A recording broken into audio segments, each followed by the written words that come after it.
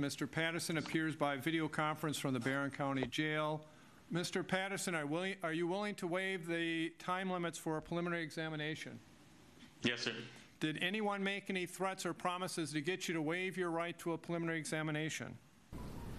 The prosecution team that you see assembled here today wants justice for James and Denise Closs and for Jayme Closs.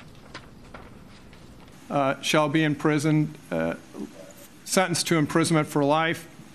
Count three, charge, Unbelievable. She's 13 years old. And if you read the, the, the criminal complaint, you can see the amount of control that he was exerting over her. And at some point, she found it within herself at 13 years old to say, I'm going to get myself out of this situation. I think it's incredible. and place. You did intentionally enter a dwelling without the consent of the person in lawful possession of the place. It's extremely important. Uh, It's extremely important because we are seeking justice. Uh, We have two parents of a 13-year-old who are deceased. We have a 13-year-old who was abducted for 88 days uh, against her will forcibly. Uh, It doesn't get any more serious than that. And I assure you that these prosecutors here, all of us, want justice for both James and Denise and for Jayme. It's time. If he remains in, in jail. Will he be allowed to have visitors?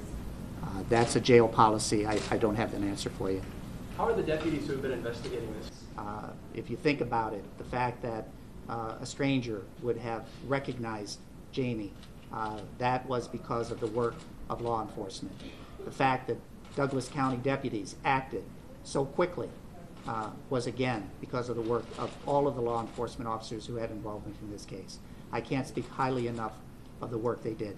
Jayme deserves enormous credit as a 13-year-old, and she has such bravery to have done what she had done. But there were many, many others as well, uh, that if all those pieces had not fallen into place on that particular afternoon, the outcome could have been very different. State asks the court to look at the charges themselves. He's charged with two counts of first-degree intentional homicide. uh, things to say about bail, we do it via motion. The court has uh, reviewed the criminal complaint, almost 12 pages in length. I've considered the allegations as set forth. My office is still in the process of reviewing the reports on the case to determine whether or not there are any additional charges that would be filed in Douglas County. At this point, I can't provide any additional information about that. I would expect to have an update on that before his next court date. Attorney Brian Wright. Mr. Canuck, does Mr. Patterson have a copy of the complaint in front of him?